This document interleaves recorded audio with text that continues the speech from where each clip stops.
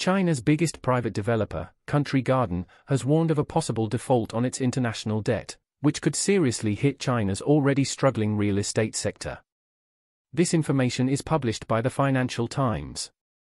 The company, which has $200 billion in liabilities and also has about $10 billion in dollar debt, said it had missed a 470 million Hong Kong dollars, $60 million, payment on some of its debt. Country Garden also admitted that it may not be able to meet all of its payment obligations when they come due. This may result in the group's creditors demanding immediate repayment of the debt owed to them or taking enforcement action, the company said. The statement also notes the sudden deterioration in the financial condition of Country Garden, which already this year went through a general crisis in the real estate market, after the default of its competitor Evergrande in 2021. The potential default deepens general anxiety about China's real estate sector, which normally accounts for more than a quarter of the country's economic activity.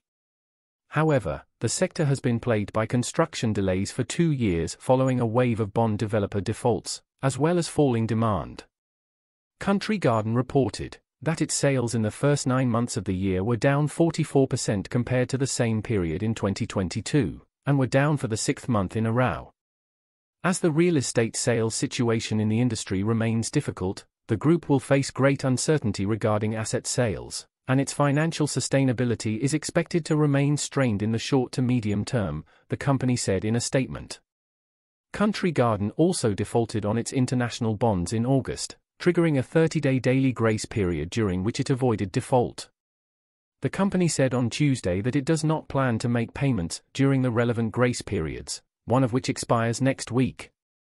Country Garden's fortunes, previously considered more stable than other private developers and supported by the state, now threaten Chinese officials who initially tried to limit the credit burden on developers in 2020.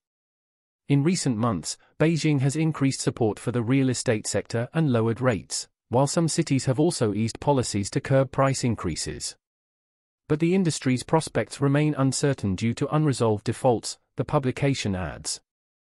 A debt restructuring plan for Evergrande, the world's most indebted developer, was scrapped in late September after the company abandoned it and complained about regulatory constraints.